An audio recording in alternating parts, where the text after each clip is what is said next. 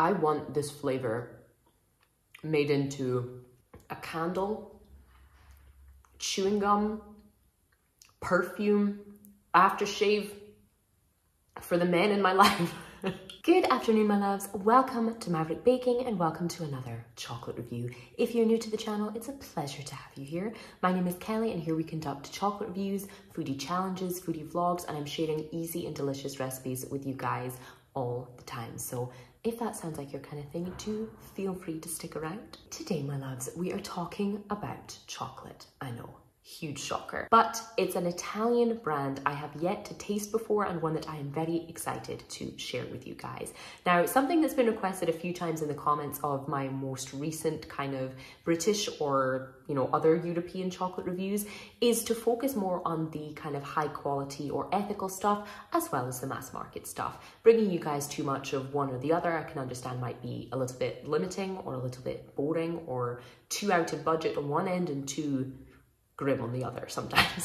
so today we're creating some balance. Let's talk about a brand here in Italy called Amedei. Now, this is a brand from Tuscany, probably three or four hours away from where we are in Italy at the moment. And this is a brand that has been catching my eye consistently since moving here. Now, Amedei's website, I will link in the description box below, is absolutely full of incredibly delicious things, which made it incredibly difficult to choose which one I wanted to order.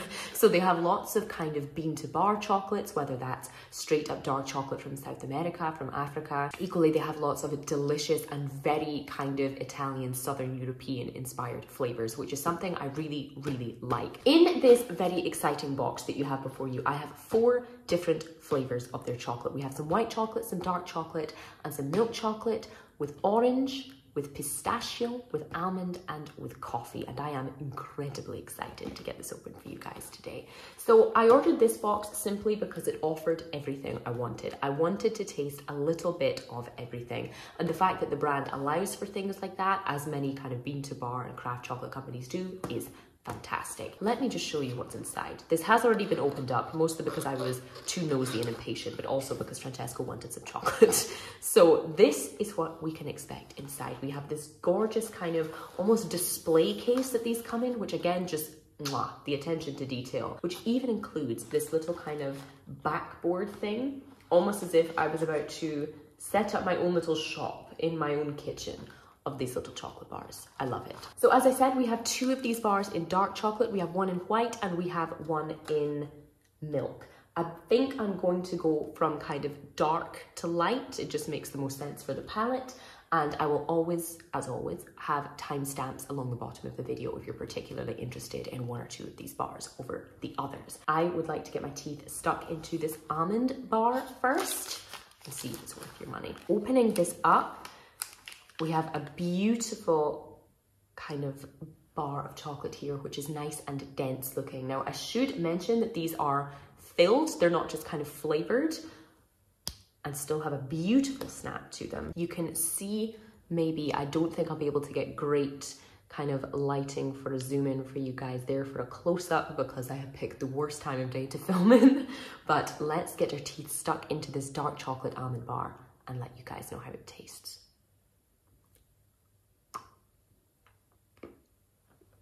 The chocolate itself, thankfully, is still a big chunky portion of this bar despite having lots of that filling in there too. The chocolate has been wonderfully tempered so it still has that nice kind of snap and crack to it before melting into this gorgeous smooth dark chocolate. On the surface, it's a really nice quality dark chocolate. When you eat dark chocolate, especially if it's something you're not particularly used to eating, it can often taste burnt, especially if you buy from kind of mass market brands. It can taste burnt, it can taste bitter, it can taste like a health food rather than, you know, the luxurious, beautiful treat that it is. But this there's nuttiness to it, there's like coffee notes to it, it's smooth the whole way through and you get this wonderfully sweet and a little bit savory kind of almond flavor in there that's a gorgeous natural almond taste. It tastes like the actual nuts rather than say the artificial marzipan type flavoring that you can often get in almond flavored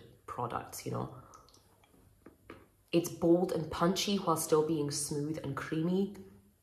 There's this like nice vanilla note in the background. The almond flavor isn't too overwhelming. It's just a nice kind of nuttiness. And it's one that I could keep eating and eating and eating and eating. so I'm very glad there's more than one of these bars in this package. Beautifully balanced. Celebrates a classic kind of Italian flavor and combined with a good quality chocolate. That's a solid four out of five for me. Shall we move on to the other dark chocolate bar in this box, being the Toscano Orange. So this again is dark chocolate, 66% cocoa solids, just like the last one, which is quite low in terms of dark chocolate, but in terms of, you know, mass market chocolate bars in general is pretty high, enough that you can get a fantastic taste of that chocolate without it tasting too much like something super bitter and medicinal as some cheaper dark chocolates can. So again, there are some nuts in the filling of this bar, but we're expecting more of a kind of orange flavoring from it an immediate but gentle kind of orange smell coming from there. And you can see again that filling just kind of peeking through. Let's see how it is. Stunning, stunning, stunning, stunning orange flavor, my God. If you have ever baked or cooked using the zest of the actual orange being grated in, and you get that lovely smell of all of the oils being kind of sprayed into the air from the grater that comes from that orange skin. That is what they've managed to capture in the flavour of this bar and it is beautiful. My mouth is literally still watering. you have that beautiful, slightly nutty, slightly coffee flavoured, smooth dark chocolate that is strong in flavour but just strong enough to perfectly match that orange. That kind of soft, nutty filling in there too just works so well. Not too strong, beautifully balanced, and I would happily give the Toscano Orange Bar a five out of five with no, no room for questions. Good night. Shall we move on to some milk chocolate though? In here, we have the Toscano Coffee Bar. Now this is one of Amedei's milk chocolates with a coffee flavored filling instead. Now we're going to expect this to be quite milky and quite kind of sweet because the main ingredients alongside the lovely cocoa butter and cocoa paste as it's known in, in Italian, we have powdered milk and sugar. So this is something that's definitely going to be more of a dessert-like treat than it is straight up, you know, kind of bold bean to bar chocolate style. So we open this up to see a much more milk chocolate appearance to this milk chocolate, but still with a nice little snap to it. Now this has an immediate kind of coffee flavor. Italians love their coffee, so I'm hoping that these guys will have translated that into this lovely milk chocolate bar. So the filling, which is made out of a similar kind of sweetened nut paste as the others, contains 15% coffee beans. And there is no mistaking that flavor. It's that same smell you get when you walk into a coffee shop. Had this been with dark chocolate, neither of the two would have played particularly well together. The dark chocolate and the coffee are both very strong, but I don't think they would balance each other nicely. Whereas having this with a chocolate that contains that milkiness and that sweetness in the same way that a double espresso is nowhere near as kind of palatable as a cappuccino, even with the best quality coffee, you know? There's just something that little taste buds on your tongue love about the kind of creaminess and fullness of that milk powder blended in with something as rich as the coffee. If I was to make any kind of criticism, the only thing I might say that could be done to make that a bit more balanced is to use a kind of pulled espresso rather than the actual coffee beans. Now, they have done a fantastic job in incorporating those powdered coffee beans into a, a, product that's smooth because the chocolate is smooth and the filling is smooth and it works really, really well. But there's something about the coffee flavor, despite its boldness and its real freshness, that you get when using the actual coffee beans. There's something about the kind of pulled espresso, as in the actual liquid, that just has a slightly more rounded flavor. If I, that would be me being incredibly picky. and I know that it also could be something that would cause some issues in terms of texture or you know, make the manufacturer's life a bit more difficult. However, that would be my only tiny, tiny criticism. Otherwise, if you love chocolate, if you love coffee, this is an absolute knockout and it's a solid five out of five for me. Moving on to what I believe may be the best for last, personally. Mostly just because I am a slut for all things pistachio. this is Amedei's white chocolate with a little pinch of salt and Bronte pistachios.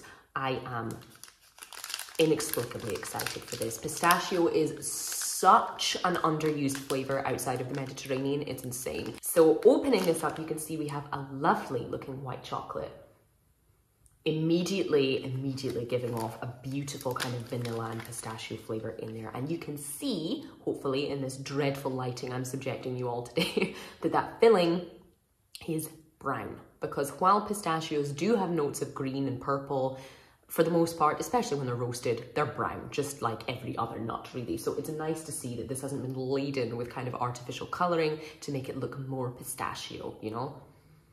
And it's got an immediate pistachio smell, that kind of unmistakable, almost, don't get me wrong with this, there's almost kind of meaty, savory smell that they have. Let's see how it is in this bar. I want this flavor made into a candle, chewing gum, perfume, aftershave for the men in my life. I want this smell, this flavor everywhere, everywhere. It's so nutty. Pistachio is such a ballsy flavor that when it's paired with that beautiful, buttery, sweet, vanilla spiked white chocolate is just ethereal, stunning, and an absolutely, no doubt about it, five out of five. What a bloody delightful afternoon this has been.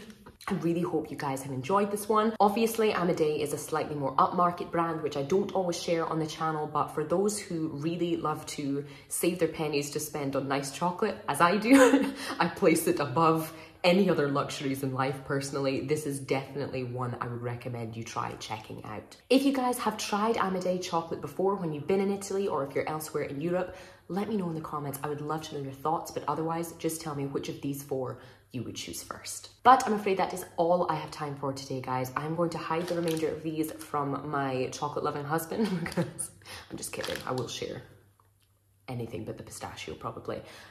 but that is all I have time for. Thank you so, so much for watching as always, and I will see you for the next one.